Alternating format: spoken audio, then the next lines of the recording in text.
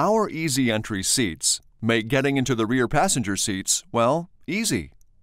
Just push the lever on the seat back toward the rear of the vehicle to tilt the seat forward. To return the seat to a sitting position, push the seat rearward until the track locks, and then rotate the seat back upright until it locks.